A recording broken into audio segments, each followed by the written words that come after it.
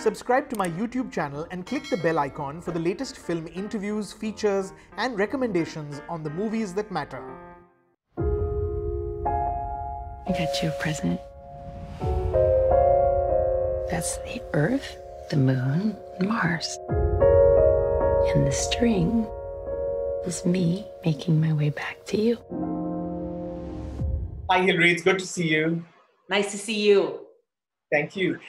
In the show Away, you play an American astronaut who is appointed the commander of the first mission to Mars. Um, while this is a big opportunity, quite early on, we see that it comes at great personal cost to her. Um, what first got you interested in taking the gig?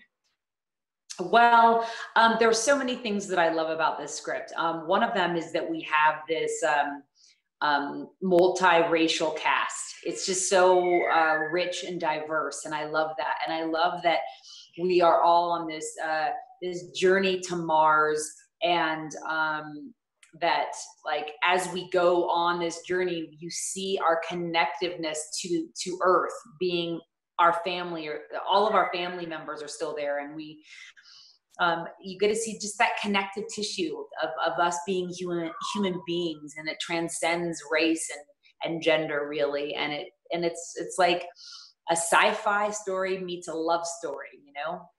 Right.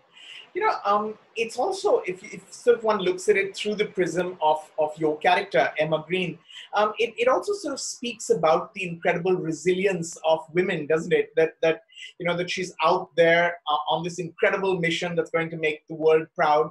Uh, but she's also sort of you know um, battling these issues and and and you know um, in the driver's seat sometimes you know looking into home and looking at what's going on with the husband and the child.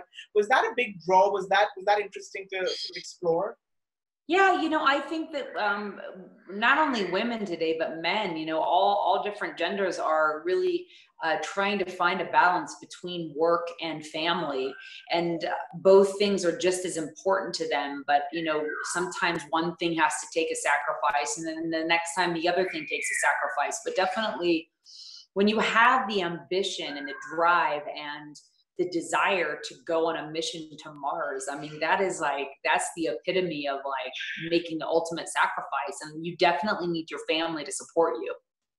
Right.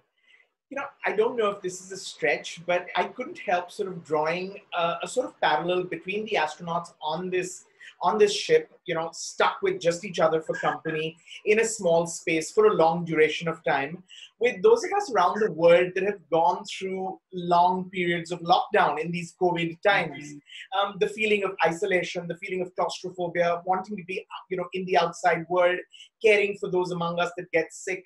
Um, do you see that, or or am I clutching for straws?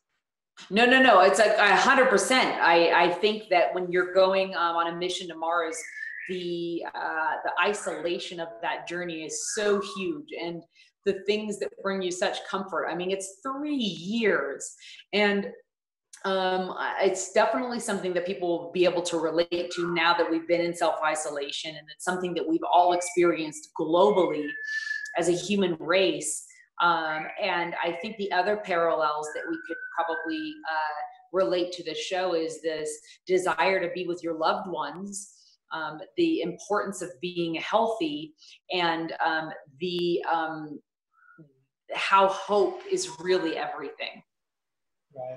Um, Hilary, what was it like shooting the space scenes? I know that a lot of it is CGI, of course, uh, but but was there a little bit of practical effects? I mean, you know, the um, the zero gravity. Uh, the, early on in the show, there's a spacewalk. I mean, what was it like to shoot?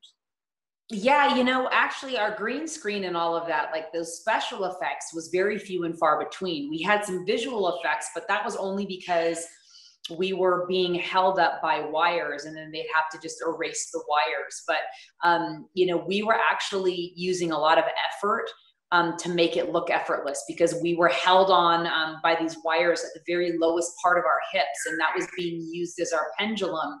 So we we you know squeeze our glutes to move forward and then squeeze our abs to move back but you know you'd be laying flat and only attached by your hips. So it was a lot of uh, a strenuous exercise too.